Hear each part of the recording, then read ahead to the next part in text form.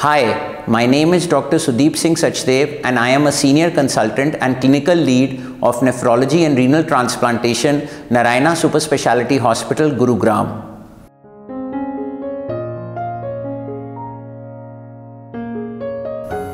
Now, autosomal dominant polycystic kidney disease can present with various complications, the most common of which is kidney failure. And this has only two options for any patient forthcoming, which is either to be on dialysis, hemodialysis or peritoneal dialysis lifelong, or to go ahead with a kidney transplant, which is a more safe and a more effective option for renal replacement. Apart from this, Polycystic kidney disease can also affect the liver and lead to polycystic liver disease where there is formation of multiple cysts in the liver. This can lead to not only pain in the right upper abdomen but along with that infection and this in turn in rare cases can also lead to liver failure which might present with portal hypertension and even an upper uh, GI bleed.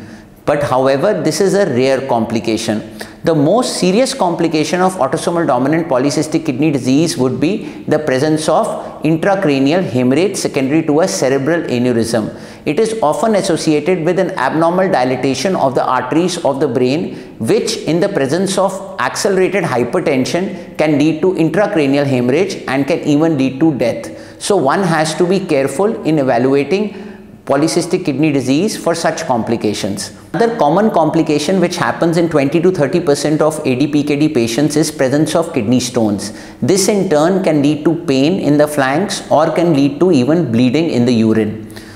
Another complication in the heart would be the presence of valvular disorders like mitral valve prolapse which may in turn lead to fluid or volume overload and other abnormalities in the heart chambers. A detailed workup is required to make a diagnosis of autosomal dominant polycystic kidney disease. The first and foremost investigation of choice is the ultrasound of the kidney ureter bladder or the ultrasound KUB.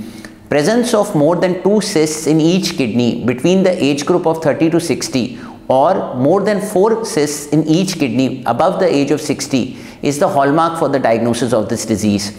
For further evaluation of these cysts, one can also get a CT scan to differentiate between infection, hemorrhage or an MRI or MR angiography if required for further evaluation. Apart from this, one has to get the urine analysis in the form of urine routine microscopy and urine culture sensitivity to rule out the presence of urinary tract infection. Since this disease eats up the kidney and leads to chronic kidney disease, it is essential to get the kidney function test and the complete blood count done to know at what stage of chronic kidney disease the disease has progressed to. Apart from this, a routine 2D echocardiogram to rule out the presence of valvular disorders like mitral valve prolapse needs to be done. If the person has any central nervous system symptoms like headache or any problems in cognition or speech, with a family history of the disease. It is also essential to get an MRI or MR angio of the brain done to evaluate the presence of aneurysms which are abnormal dilatation of the vessels and if they burst can lead to serious adverse consequences like stroke and even death. Furthermore, genetic testing and DNA linkage analysis can also help in potentially clinching the diagnosis of this disease.